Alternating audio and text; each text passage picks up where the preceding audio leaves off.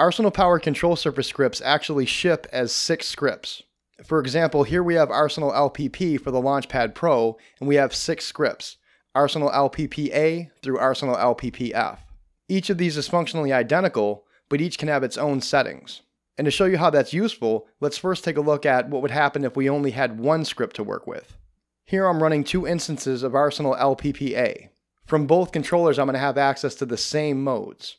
And that can be useful in some cases, but it can also be restrictive. Having multiple scripts opens up some interesting possibilities. Here I'm running Arsenal LPPA and Arsenal LPPB, both of which have different settings. For this example, I've also turned on mode linking, which links up mode selection. So switching between modes in one script will also switch between modes in the other script. On the left, I'm using a mode that can chop up clips. And on the right, I've got a mode that can launch clips. And that also selects the clips I'm going to chop up on the left. And here on the left, I've got a mode that can play instruments, and on the right, I've got a mode that can step sequence. Multiple scripts is also useful for creating different mode layouts and such for different use cases. For example, mixing, production, performance, etc. And you can switch between these very easily. Many of the modes within Arsenal operate upon a single track. By default, these will apply to the selected track, and this is useful because it allows you to control any track in your set.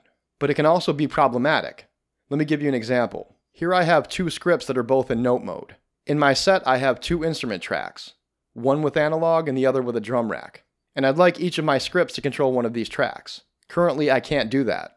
Right now, they're both controlling analog. If I navigate to the drum rack track, now they're both controlling the drum rack. To solve this, I can lock one of the scripts to the analog track. And now it'll continue to control that track regardless of which track is selected. So now I can navigate to the drum rack track and control it with the second script. And each Arsenal powered control surface script is independently lockable in this way. Script linking allows you to link up to six scripts together to form a larger control surface.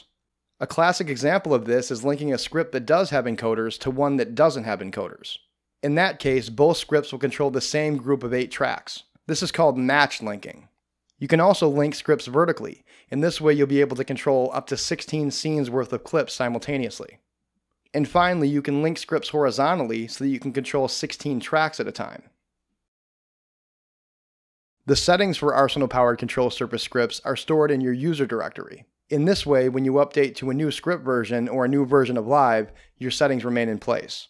All of the settings files are plain text files that include detailed instructions, so they're very easy to use. In the main settings folder, there's currently one global settings file called linking, and this is where you make settings related to script linking. You'll also have a folder for each script that you've used. These folders aren't created until you use a script for the first time. Here you'll find mode list files where you specify the modes that your script should use, a general settings file where you'll find global settings related to the script. For example, here's a setting for limiting volume controls to 0 dB. And finally, some modes have setting files.